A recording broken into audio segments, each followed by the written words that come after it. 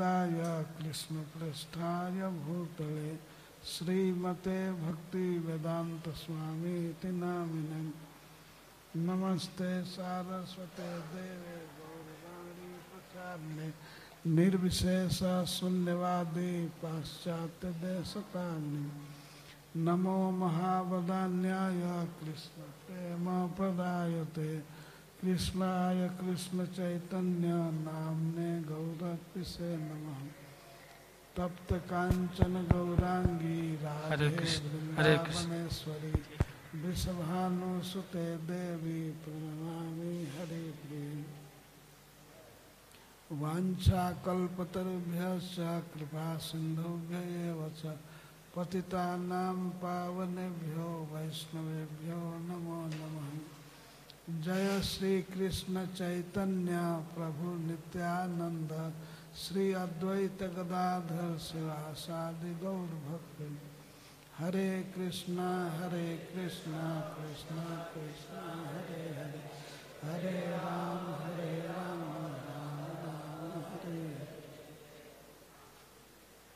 हरे कृष्णा हरे कृष्णा कृष्णा कृष्णा, हरे हरे। हरे राम हरे राम राम राम, हरे।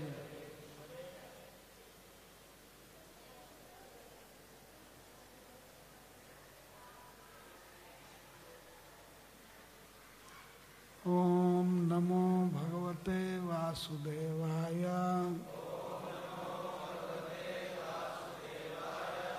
ओम नमो भगवते वासुदेवाय। गुण व्यक्ति यम देवी व्यंजको गुणभुक भवान व्यंजको गुणभुक भवान। त्वम ही सर्व शरीरात्मा श्री शरीर, इंद्रिय, आशय श्री शरीरेन्द्रियाशय गुण व्यक्तिरियम देवी। व्यंजको गुण भूग भवान तम ही सर्व शरीरात्मा श्री शरीरेन्द्रियाशय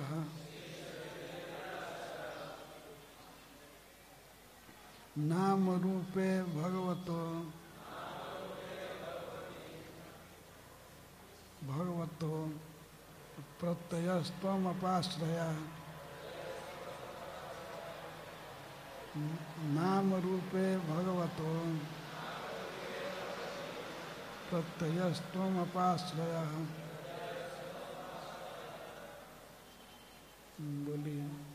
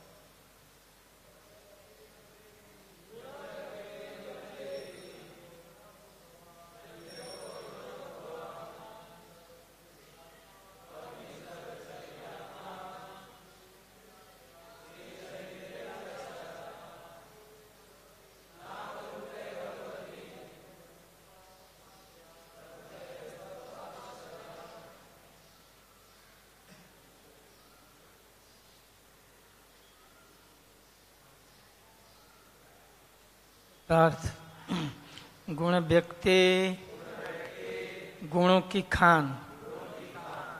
यम यह देवी देवी।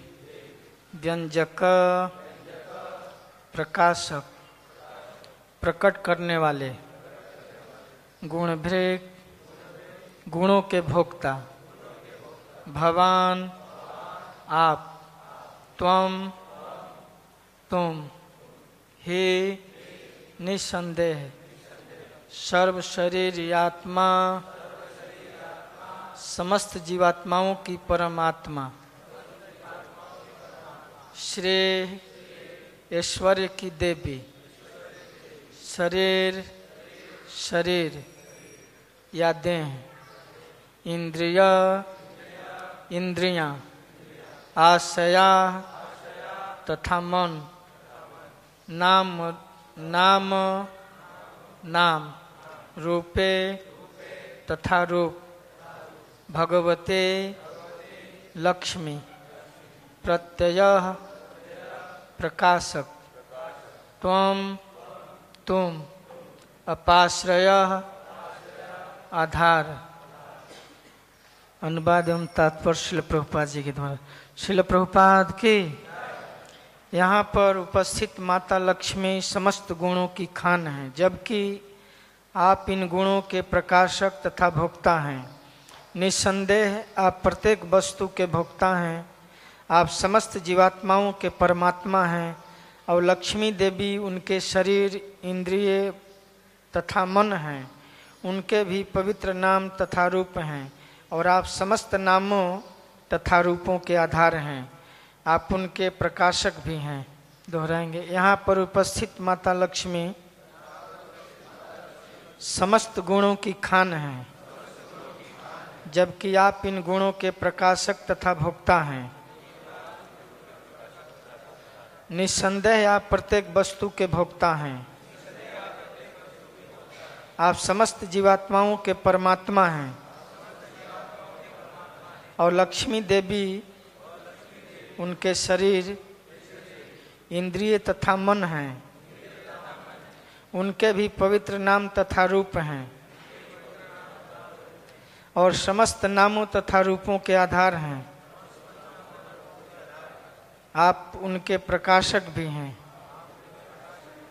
तात्पर्य तत्ववादियों के आचार्य मध्वाचार्य जी ने इस श्लोक की टीका इस प्रकार की है। विष्णु को साक्षात यज्ञ के रूप में और माता लक्ष्मी को पारमार्थिक कार्य तथा उपासना के आद्य रूप में वर्णित किया जाता है। निसंदेह, वे पारमार्थिक कार्य तथा समस्त यज्ञ के परमात्मा रूप को बताने वाले हैं। भगवान विष्णु लक्ष्मी देवी के भी परमात्मा रूप को बताने वाले हैं। क्योंकि विष्णु महान, क्योंकि विष्णु भगवान स्वयं ही सब जीवों के परमात्मा हैं। माधवाचार्य के अनुसार दो प्रकार के कारक या तत्व हैं। एक स्वतंत्र और दूसरा आश्रित। पहला तत्व परमेश्वर विष्णु है और दूसरा जीव तत्व। लक्ष्मी देवी की गणना कभी कभी जीवों में की जाती है, क्योंकि वे भगवान विष्णु के आश्रित हैं। किंतु गौड़ीय वैष्णव लक्ष्मी देवी को निम्न रूप से वर्णित करते हैं, जो बलदेव विद्याभूषण कृत प्रमेय रत्नावली के दो श्लोकों में दिया हुआ है। इनमें से पहले श्लोक विष्णु पुराण से उद्धृत हैं। नित्यव सा जगन माता विष्णु श्री अपायनी, यथा सर्वगतो विष्णु तथैवेयम द्विजोत्तम। विष्णु शिव शक्त स्त्री, स्रस्तासु या कीर्तिता परा, शैव श्री तद्भिनेति प्राह शिष्यान प्रभुर महान हे ब्राह्मण श्रेष्ठ लक्ष्मी जी भगवान विष्णु की चिर संगिनी हैं, इसलिए उन्हें अनपाइनी कहा जाता है। वे समस्त सृष्टि की माता हैं, जिस प्रकार भगवान विष्णु सर्वव्यापी हैं, उसी प्रकार उनकी आत्म पराशक्ति माता लक्ष्मी जी भी सर्वव्यापी हैं। भगवान विष्णु की तीन प्रमुख शक्तियाँ हैं, अंतरंगा, बहिरंगा तथा तटस्था। श्री चैतन्य महाप्रभु ने पराशक्ति को भगवान से अभिन्न माना है। इस प्रकार भी लक्ष्मी स्वतंत्र विष्णु तत्व में सम्मिलित हैं। प्रमेय रत्नावली की कांतिमाला टीका में यह कथन है, ननु क्वचित नित्य मुक्त जीवात्व जीवात्व लक्ष्म्या स्वीकृतम तत्राह प्राहेति। नित्वे वेति पद में सर्वव्याप्ति कथने न कला, काष्ठ आदि पद्म द्वे शुद्ध पितयुक्त च महाप्रभुना स्वशिष्यान प्रति क्षम्या भगवत अद्वैतम उपदिष्टम क्वचित यस्तास्तु द्वैतम उक्तम तत्तु तदाविष्ट नित्यमुक्त जीवम आदाय संगतम अस्तु। यद्यपि कुछ आधिकारिक वैष्णव शिष्य परंपराएँ लक्ष्मी देवी को वैकुंठ की शाश्वत मुक्तात्माओं में परिगणित करती हैं। किंतु श्री चैतन्य महाप्रभु ने विष्णु पुराण के कथनानुसार लक्ष्मी देवी को विष्णु तत्व से अभिन्न माना है। इसे सही निष्कर्ष यह है कि विष्णु से भिन्न लक्ष्मी का वर्णन तब किया जाता है जब शाश्वत मुक्त जीवात्मा में लक्ष्मी के गुण पाए जाते हैं। उसका अभिप्राय भगवान विष्णु के प्रेयसी लक्ष्मी से कदापि नहीं है।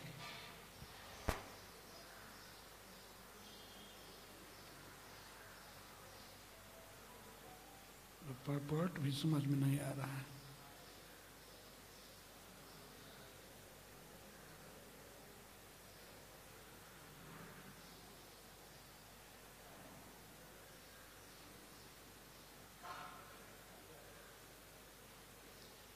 ये पुंसवन व्रत में जो स्तुति दी गई है, स्तुति का अंश है।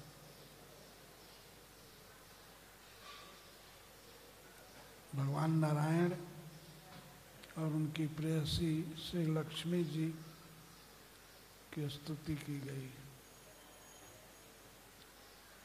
भगवान नारायण तो सभी जीवों के आत्मा हैं, सभी शरीरों में। और लक्ष्मी देवी भी उनसे अभिन्न हैं, उनकी प्रेयसी हैं।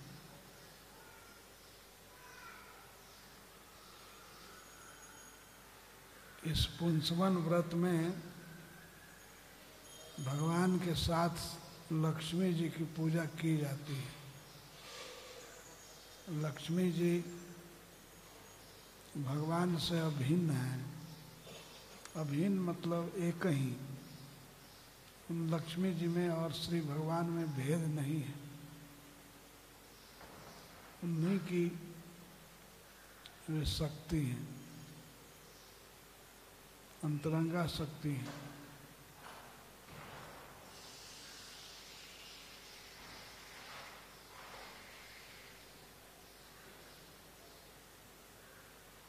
इसीलिए प्रत्येक भक्त को चाहिए कि वे भगवान के साथ लक्ष्मी जी की भी उपासना करें।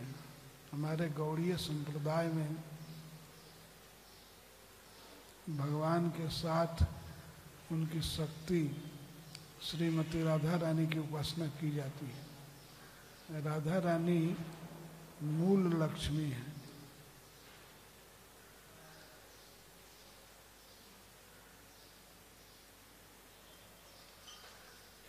आचार्यों में थोड़ा थोड़ा मतभेद है, पर हमारे गौड़ीय संप्रदाय में भेद नहीं आपस में। जहाँ भी आप भगवान कृष्ण को देखते हैं तो वहाँ श्री राधा रानी हैं ही। जैसे राधा रस बिहारी वृंदावन में राधा श्याम सुंदर, मायापुर में श्री राधा माधव जी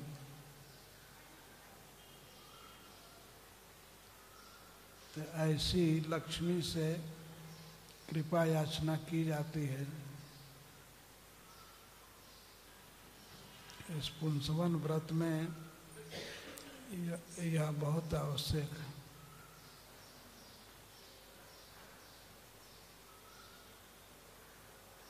लक्ष्मी नारायण की उपासना की जाती है। यह व्रत बहुत महान है। श्रील सुखदेव गोस्वामी इस व्रत के विषय में कहते हैं, एतत् चरित्वा इस व्रत को करके, एतत् चरित्वा चरित्वा विधिवत व्रतम विभो। अभीष्ट अभीष्टितार्थम लभते पुमान्य। जो व्यक्ति विधिवत शास्त्र में जैसा लिखा गया है वैसा। विधि पूर्वक इस व्रत को करता है तो इस जीवन में अपने सभी कामनाओं को पूरा कर लेता है। अभिप्सितार्थम लभते पुमान्य यह इसी जीवन में सब मनर्थों को पा जाता है। और स्त्री इस व्रत को करे वह भी पति के समान ही सब कुछ पा जाती है। स्त्री के यदि पुत्र नहीं है, या कोई पुत्र हो करके मर गया है तो इस व्रत को करने पर उसे सुंदर संतान की प्राप्ति होती है। उसका पति जीवित रहता है दीर्घ काल तक। उसका जस बढ़ता है, ऐश्वर्य बढ़ता है।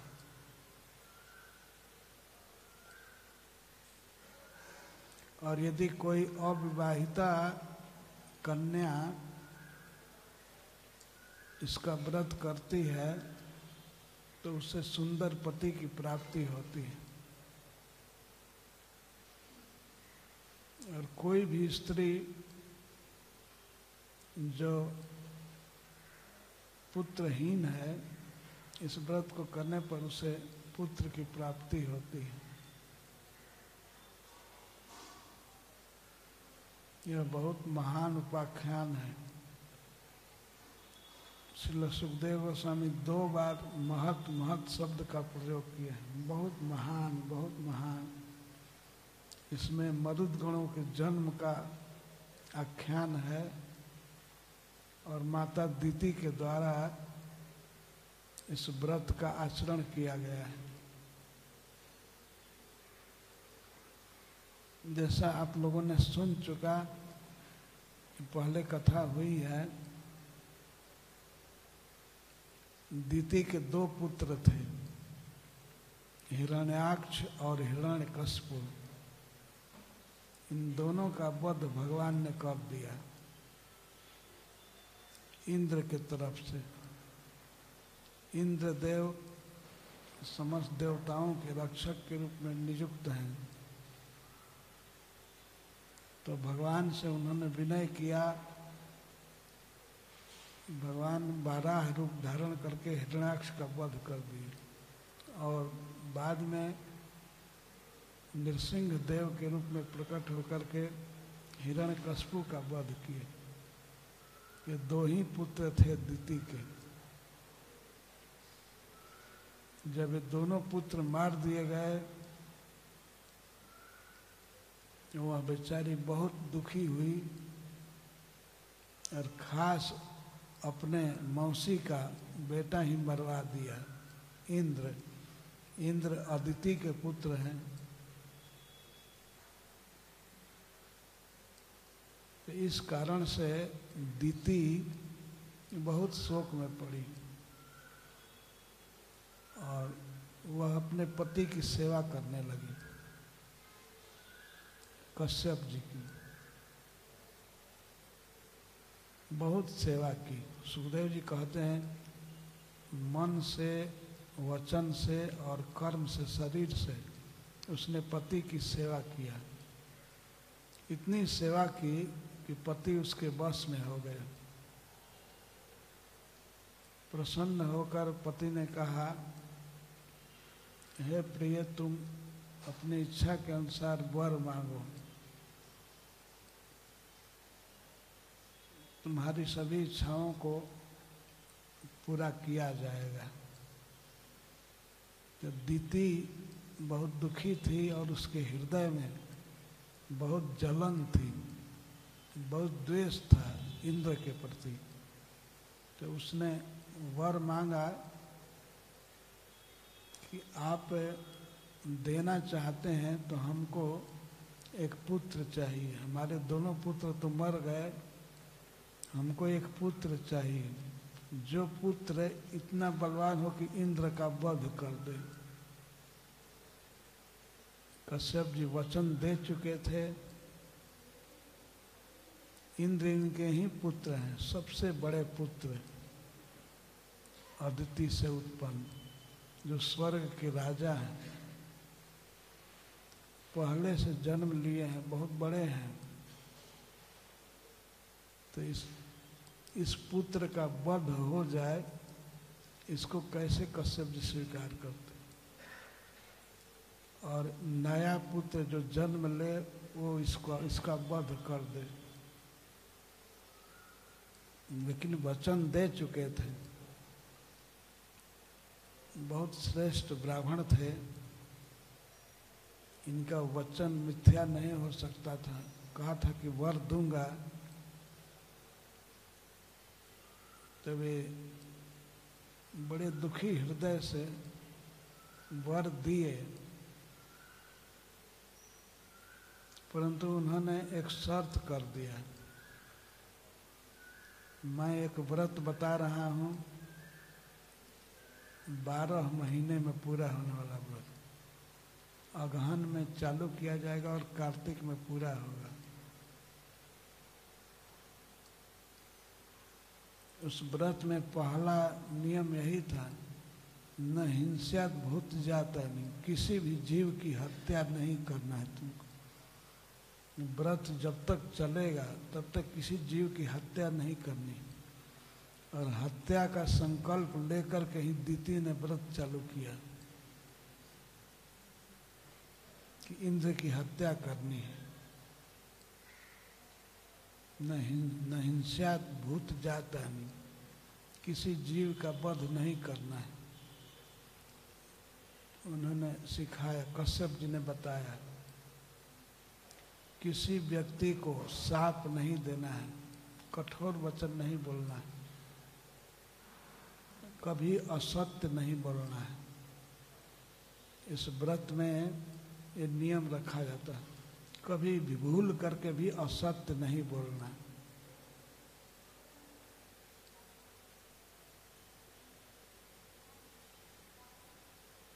दीति, सब बातों को सुनी और तत्पर हो गई ठीक है, मैं व्रत का पालन करूँगी। आप सब बातों को बताइए विस्तार से। कश्यप जी ने अनेक बातें बताया। कह दिया, इस व्रत का पालन यदि एक साल तक करोगी तो तुम्हारा पुत्र इंद्र का वध करने वाला होगा। हा, इंद्र हा। हा का अर्थ अनुगामी भी होता है। उन्होंने कहा कि यदि एक साल तक व्रत का पालन करोगे तो तुम्हारा पुत्र इंद्र का अनुगामी होगा। उन्होंने तो अपने वचन की रक्षा के लिए भिन्न शब्द का प्रयोग किया, लेकिन दीति यही समझी कि मेरा पुत्र इंद्र का वध करेगा। बड़ी तत्परता से तैयार हो गई। स्त्रियों में अमर्ष बहुत ज़्यादा होता है। किसी बात को बैठा लेती हैं मन में तो उसे पूरा करने के लिए तत्पर होती बहुत ज़्यादा जिद होती है। हमें अपनी सौत के लड़की का वध करना, इंद्र का वध करना है। इसके लिए वो तैयार हो गए कहे कि, आप बताइए बताइए और क्या क्या करना है? जो सब बातों को बताया कश्यप जी ने कह दिया कि ये व्रत में कोई भी त्रुटि नहीं होनी चाहिए। अगर इसमें कोई भी कमी हो जाएगी तो तुम्हारा संकल्प पूरा नहीं होगा। उसका संकल्प था इंद्र का वध। और कश्यप जी के मन में था कि इंद्र का वध नहीं होना चाहिए। इंद्र भगवान के भक्त हैं। पर इधर वचन की रक्षा भी करनी। वचन दे दिए तो दे दिए। पहले के लोग इस तरह अपने वचन की रक्षा करते थे।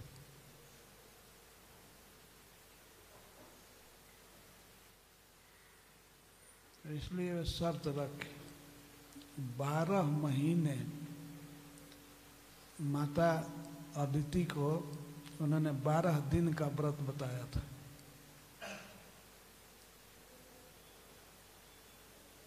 देवताओं की माता को। और दीति दैत्यों की माता इसको बारह महीने का व्रत बताया कसे भी चाहते थे कि बहुत दिन तक भक्ति करे, बहुत दिन तक लगातार भक्ति करने से हृदय शुद्ध हो जाता है। इसीलिए वे एक साल का व्रत बताए।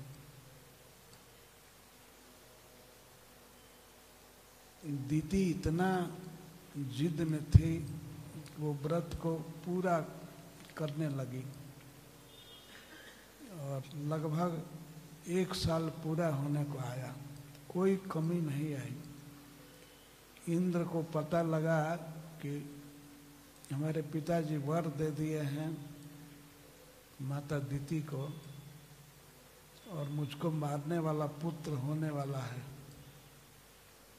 तो वे वेश बदल करके एक सेवक के रूप में हो करके माता दीति की सेवा करने लगे।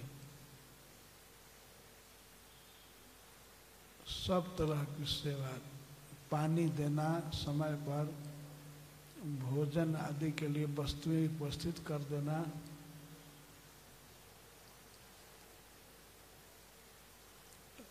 वन से फल, फूल समित कुश आदि ला देना। भगवान की भक्ति में जिन वस्तुओं की ज़रूरत थी, वो सब जुटा करके रख देना। यही इंद्र का काम था। मरता क्या नहीं करता। अपने जान पर खतरा होने वाला है। अगर दीति का व्रत पूरा हो जाएगा तो मेरी ज़िंदगी समाप्त हो जाएगी। इसलिए वे बड़े चिंता में थे, सेवा करने लगे और देखने लगे कि व्रत की कमी क्या हो रही है। कमी आ जाए व्रत कम नहीं पूरा हो रहा था। अब एक साल पूरा होने वाला था। इंद्र की घबराहट बढ़ गई।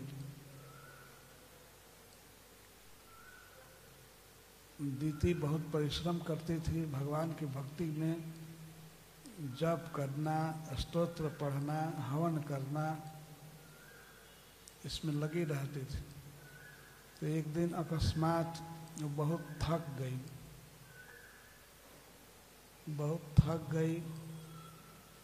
तो उस दिन शाम के समय कुछ खाई और खाने के बाद मुँह नहीं धो पाई।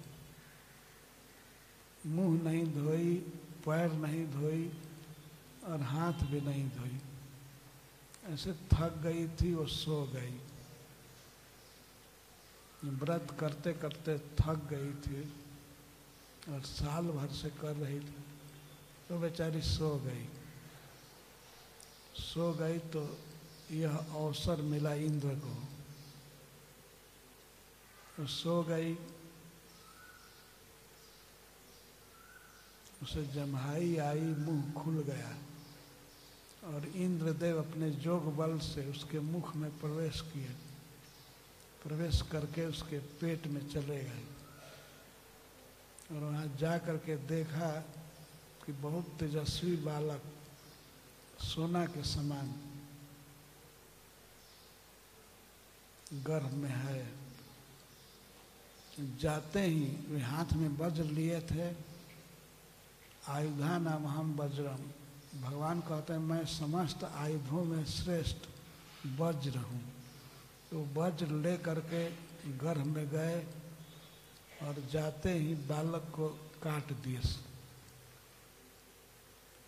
बच्चा गर्भ में है और वज्र में छह धार होती है तो छह जगह काट दिए। इसका अर्थ है कि बच्चा सात टुकड़े में कट गया है।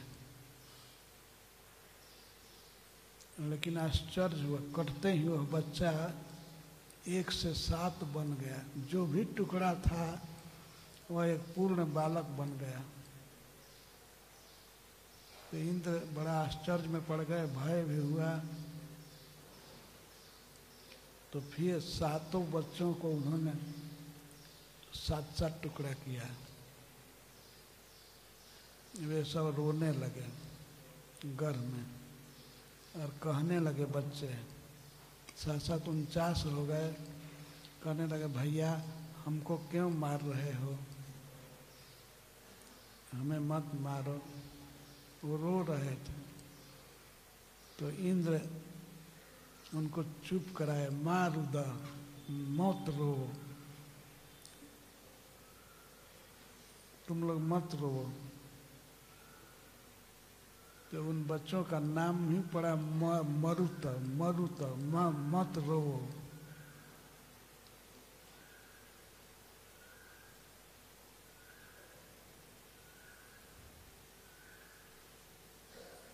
तो एक साल के बाद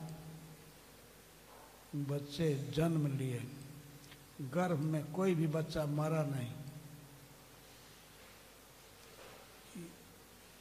ये अद्भुत प्रसंग है।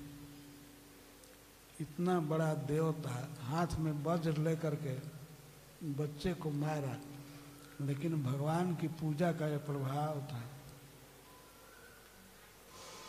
सातों बच्चे उनचास हो गए।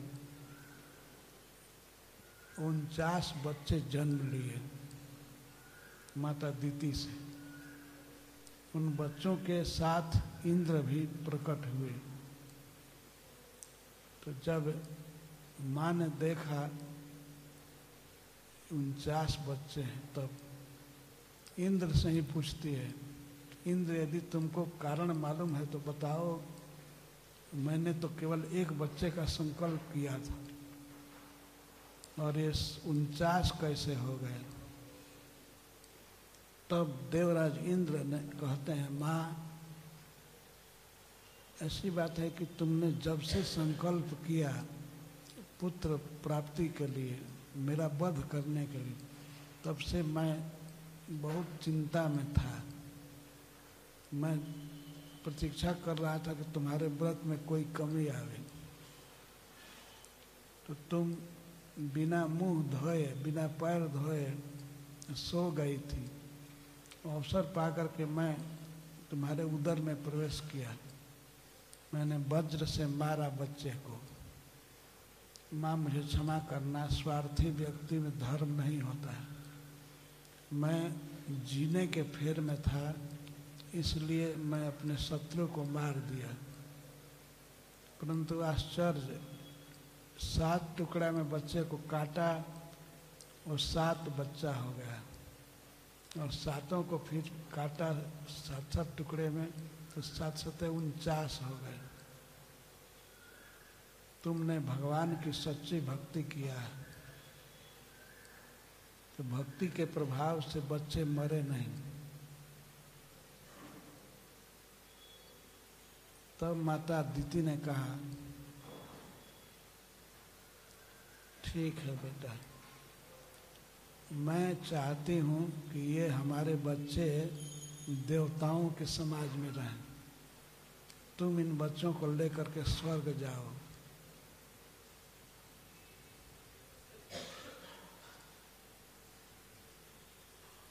ये असुर के संग में रहेंगे तो ये असुर हो जाएँगे। लेकिन तुम्हारे संग में रहेंगे, ये देवता रहेंगे। तो इंद्र माता दीति को प्रणाम किए और उन उनचास देवताओं के साथ वे चले गए स्वर्ग ये उनचासों वायु देवता हैं। और इंद्र के साथी हैं। इंद्र के कार्य में सहायता देते हैं। बहुत बड़े भक्त हैं। इस व्रत का यह प्रभाव है। भगवान की पूजा का प्रभाव है। तो भगवान की पूजा करने से असुर भी देवता हो गए। बहुत बुरा संकल्प करके दीति ने इनको पैदा किया। बहुत बुरा संकल्प था। लेकिन पूजा भगवान की कर रही थी, भगवान का जप कर रही थी, इसलिए असुर भी देवता हो गए। एक तो मरे नहीं और दूसरे देवता हो गए। माँ के पूजा का प्रभाव हुआ। नारायणीय में ग्रंथ है नारायणीयम में नारायण भट्ट कहते हैं, तत्सेव ने तिरिंद्र बधोद्यतापी आपकी सेवा से ऐसे दिति का परिवर्तन हुआ। दिति इंद्र के बध के लिए संकल्प की थी। पर हुआ क्या? उल्टा हुआ, इंद्र की सहायता करने वाले उनचास मरुदगण हो गए। इंद्र के सुहृदय इंद्र के हितैषी। तो अगर कोई दुष्ट हृदय से भी भगवान की भक्ति करता है तो शुभदा है शुभ देने वाली है। हृदय में ईर्ष्या थी, दीति के इंद्र का वध करना चाहती बहुत बुरा संकल्प था, लेकिन जप तो भगवान का करती थी, पूजा भगवान का करती थी, इसलिए उसका हृदय शुद्ध हो गया है और उसके बच्चे दैत्य न हो करके देवता हो गए।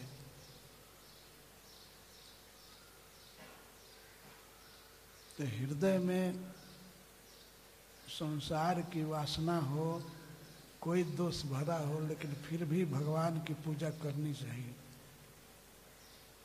कोई भी व्यक्ति शुद्ध हो जाएगा।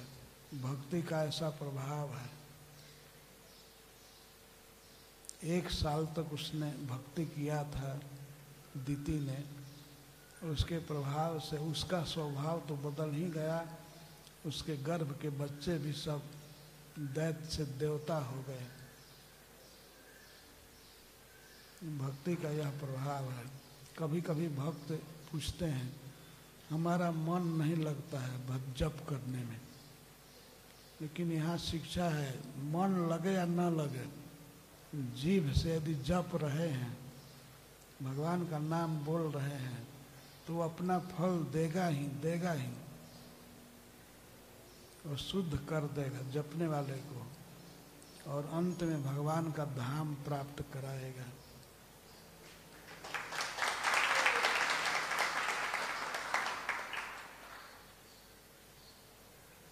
इस अध्याय में भक्ति के प्रभाव का प्रदर्शन किया गया है।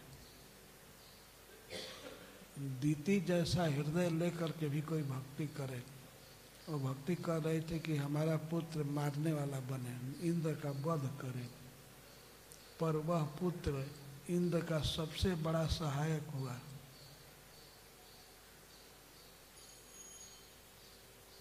तो हमारे हृदय में क्या क्या कामना है, इस पर भगवान विचार नहीं करते हैं। वे यही देखते हैं कि ये मेरा नाम ले रहा है, मुझे प्रणाम कर रहा है। यदि हम भगवान को प्रणाम करेंगे, भगवान का नाम लेंगे तो नाम अपने प्रभाव से हमको शुद्ध करेगा।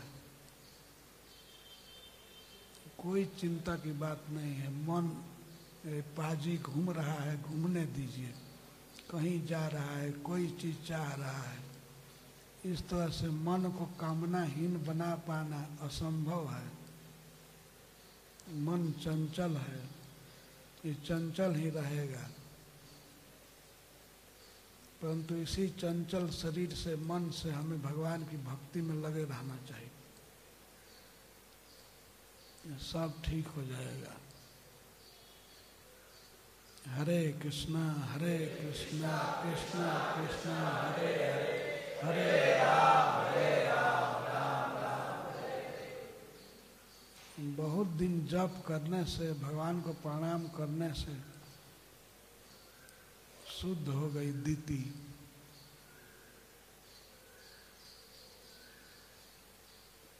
जिस इंद्र को मारना चाहती थी, वही इंद्र बच्चों के साथ प्रकट हुए हैं और इंद्र पर दया आ गई। माता दीति ने कह दिया कि तुम ले जाओ, इनको अपने साथ रखो, इनको स्वर्ग में रखो।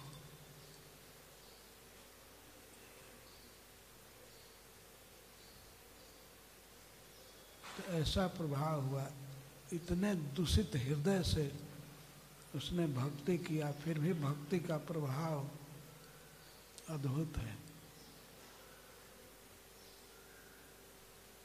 कभी कभी भक्तों को लोग निराश करते हैं।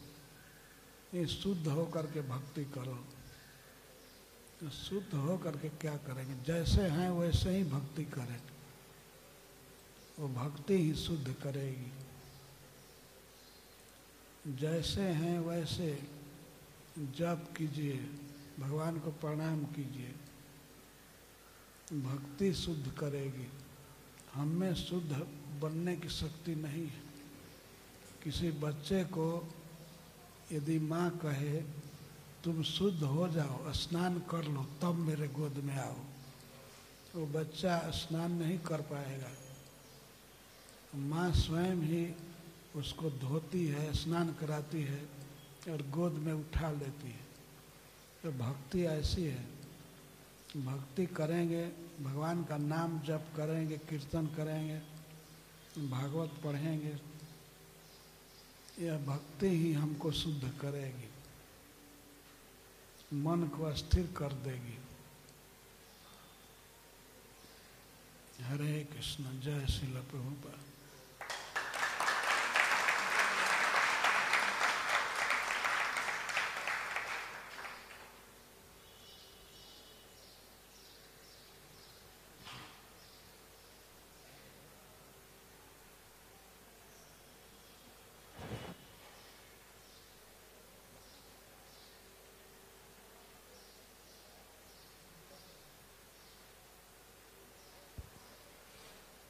हरे कृष्णा महाराज जी।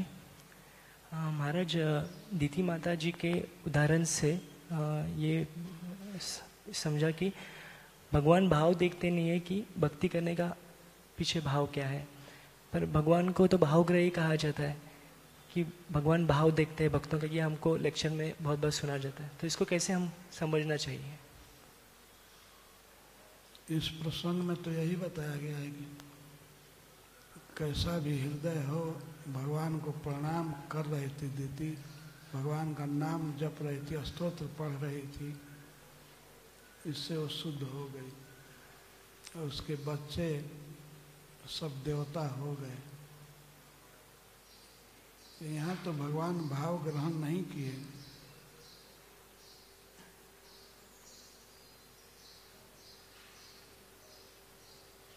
भावग्राही जनार्दन भाव ग्रहण करते हैं, लेकिन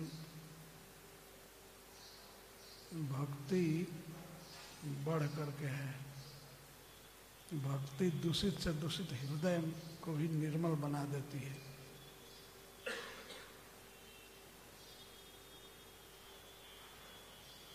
भगवान भक्ति के बस में है।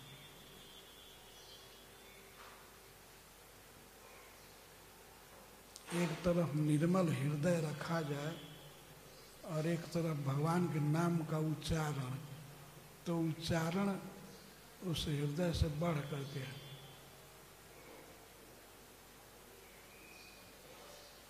भगवान के नाम को जपना, बोलना यही सर्वश्रेष्ठ है।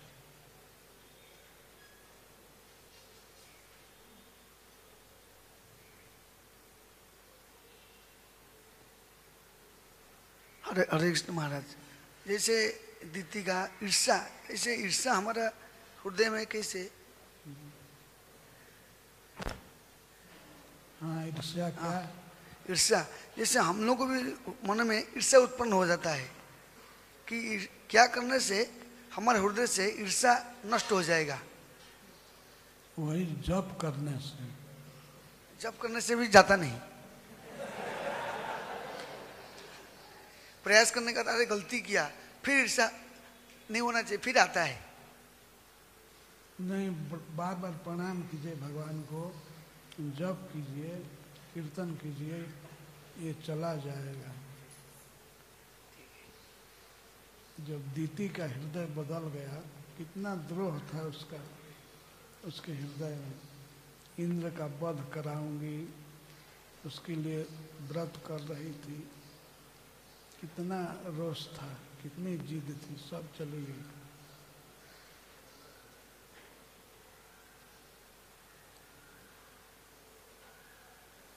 कोई दोष नहीं रह पाएगा जीवन में, भगवान की भक्ति करने से। हरे कृष्ण महाराज जी। जी, सातवां नाम अपराध, नाम के बल पर पाप करना। तो क्या दीति का ये नहीं है कि वो भगवान का नाम तो ले रही है, लेकिन साथ में वो इतना बड़ा पाप सोच रही है तो ये क्या नाम अपराध में नहीं आता है? नहीं। यहाँ नाम अपराध आदि का कोई प्रश्न नहीं।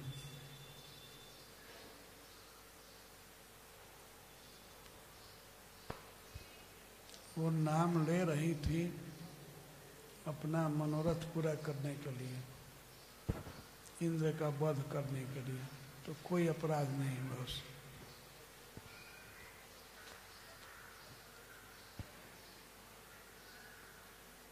तो इतना थक जाती थी भक्ति में, नाम जपते जपते स्त्रोत्र पढ़ते पढ़ते थक जाती थी। थक करके ही वो सो गई थी ना। इतना जप कीजिए कि भोजन की याद भूल जाए और किसी किसी दिन सोना भी भूल जाए। जपते जबते आधी रात हो जाए मंगला आरती का समय आ जाए। क्यों नहीं हृदय शुद्ध होगा?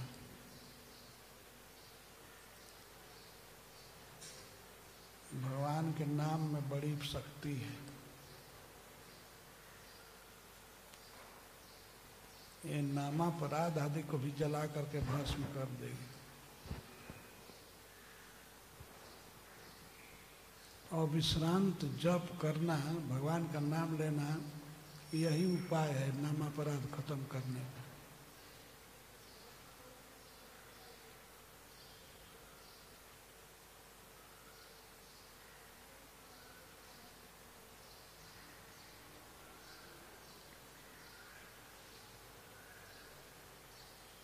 एक साल तक उसने नियम पालन किया था, खूब दृढ़ता से।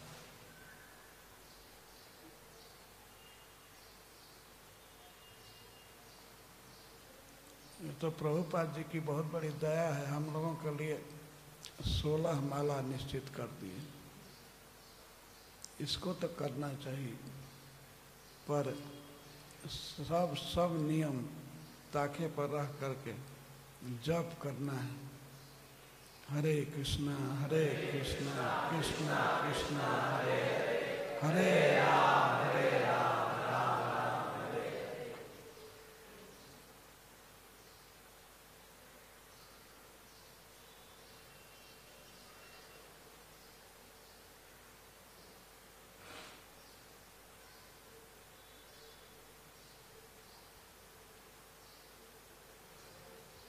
इस प्रसंग में यही शिक्षा है कि भगवान की भक्ति करनी है और हम जैसे हैं वैसे ही करनी है। बहुत ज़्यादा प्रयास मत कीजिए, हम शुद्ध हो करके करें। शुद्ध होंगे ही नहीं। जैसे हैं वैसे करें।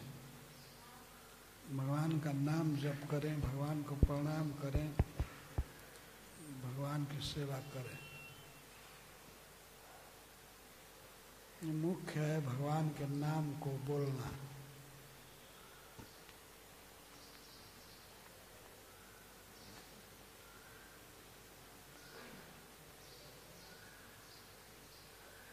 हरे हरे कृष्ण महाराज। महाराज इसका मतलब हम पूरे जीवन भर भक्ति करेंगे माला करेंगे। अगर हमारा हृदय साफ़ नहीं हुआ फिर भी हमको भगवान अ, हमारा लाइक उनके पास ले लेंगे या हमको भक्त लाइक नेक्स्ट जन्म। जीवन भर तो बहुत ज़्यादा हो गया। आप एक महीना करके देखिए। गोस्वामी तुलसीदास जी ने कहा है छ महीने में यदि भगवान नहीं मिल गए तो मुझे बताना। वो बताते हैं कि छ महीने फलाहार करके निरंतर जप करे कोई तो उसे अवश्य राम के दर्शन हो जाएँगे।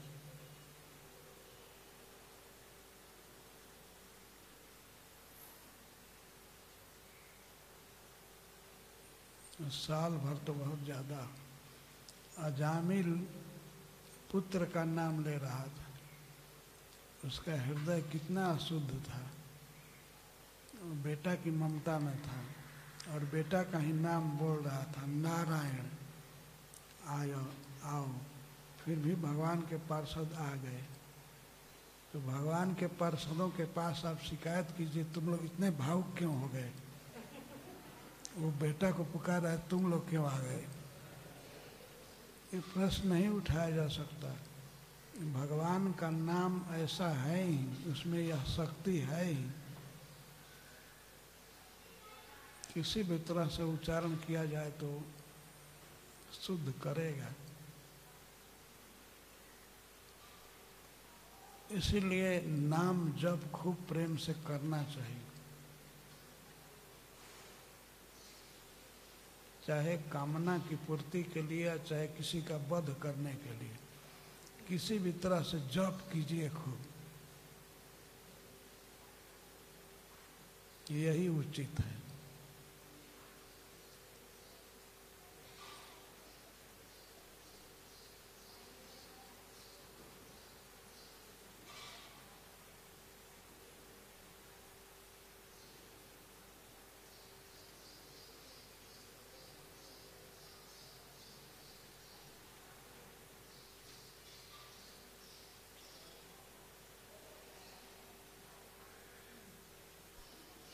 हरे कृष्ण महाराज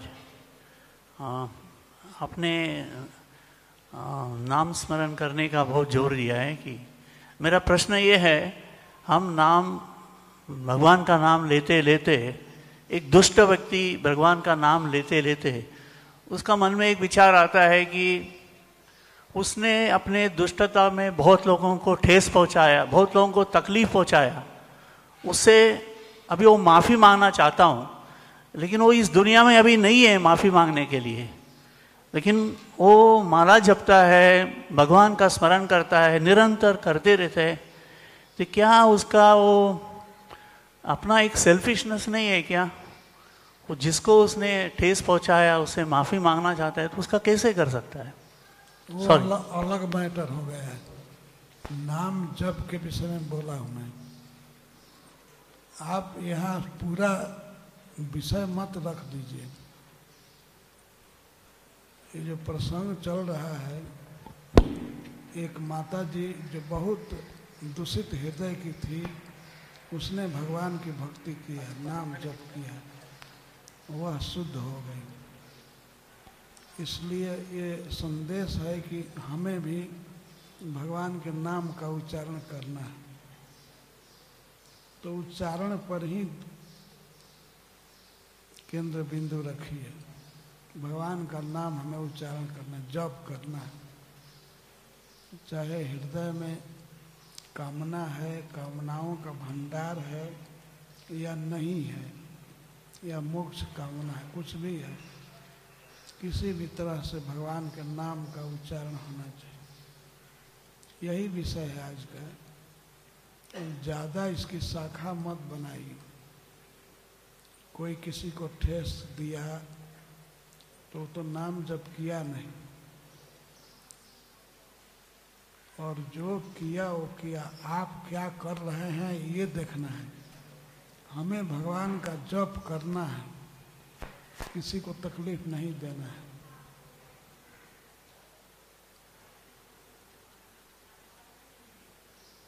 जो विषय चल रहा है, वहीं अपने मन को रखना चाहिए। ये भागवत क्लास इसके लिए नहीं है कि दुनिया का सारा प्रश्न यहाँ उठाया जाए। जो विषय है उसको भी छोड़ दिया जाए। यहाँ विषय है माता दीति, इंद्र और इन दोनों के बीच में भगवान की भक्ति।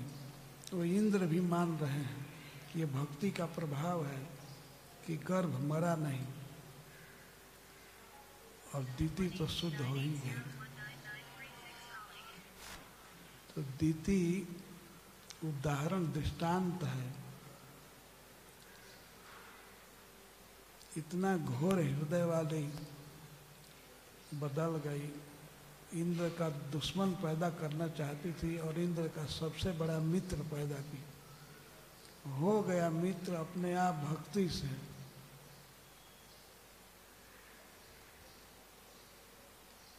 इंद्र को भी बड़ा आश्चर्य हुआ। बच्चे नहीं मरे तो वज्र से काटने पर भी जितना खंड किया जाता था उतना ही पूर्ण बालक बन गए। बहुत आश्चर्य हुआ। है लेकिन वे समझ गए। न ममार दितर गर्भम। श्रीनिवासानुकंपया श्रीनिवास, श्री भगवान विष्णु की कृपा से बच्चे मरे नहीं।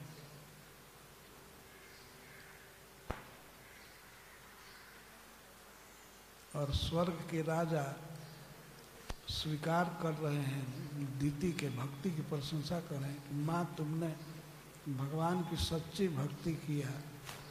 इसलिए तुम्हारे बच्चे अमर हो गए। मरे नहीं।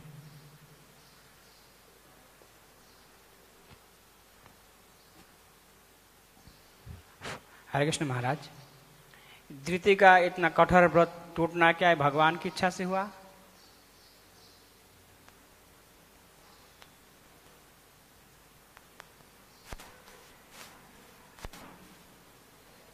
ये कहाँ से प्रश्न खड़ा कर रहे हैं? भगवान की इच्छा संसार में जो भी हो रहा है, सब भगवान की इच्छा से ही हो रहा है। लेकिन जीव भक्ति करता है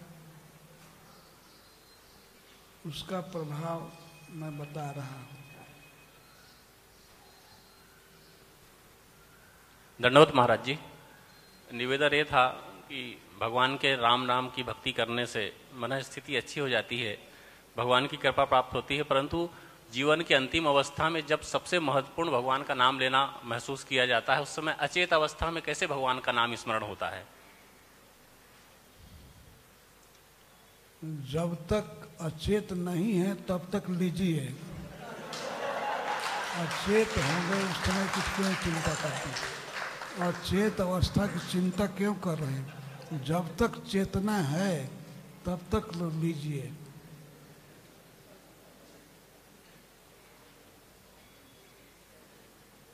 अभी अचेत हो करके देख रहे हैं कि हमको नाम नहीं बोला गया चेतना है ना? अभी तो बॉम्बे में घूम रहे हैं। कई चीज़ें रख रहे हैं। चेतना है। चेतना अवस्था में भगवान का नाम लीजिए।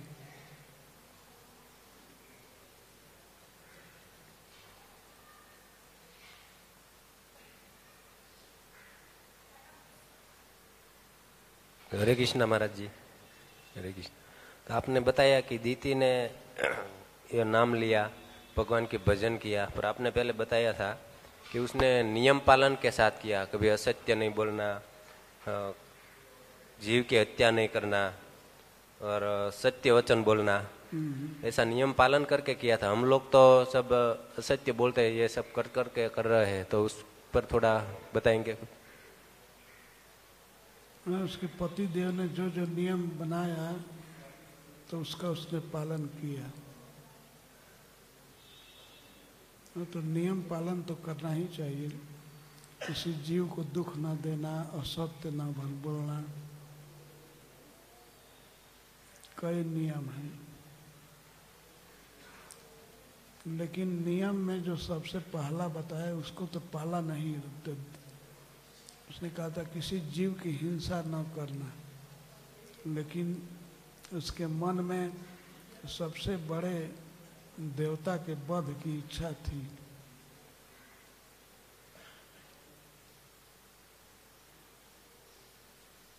फिर भी अपनी समझ से जहाँ तक जीव हिंसा से बचती थी, किसी कीड़ा मकोड़ा की हत्या न हो पावे, ध्यान रखना चाहिए। नियम पालन जितना हो सके उतना करना चाहिए। पर भगवान के नाम को देते रहना चाहिए। उसके लिए कोई नियम नहीं है। जैसे भी हो, सबसे बड़ा नियम है नाम का उच्चारण। हरे कृष्णा हरे कृष्णा कृष्णा, हरे हरे। हरे राम हरे राम। खाईते, सुईते, जथा तथा नाम लय देश काल नियम नहीं, सर्व सिद्धि है। खाते समय, सोते समय, उठते, बैठते, सब समय भगवान का नाम लेना चाहिए।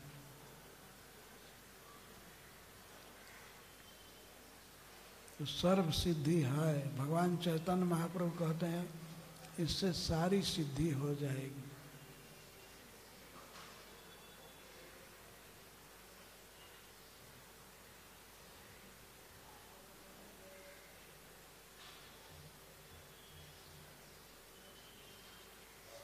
जय शिल प्रभुपाद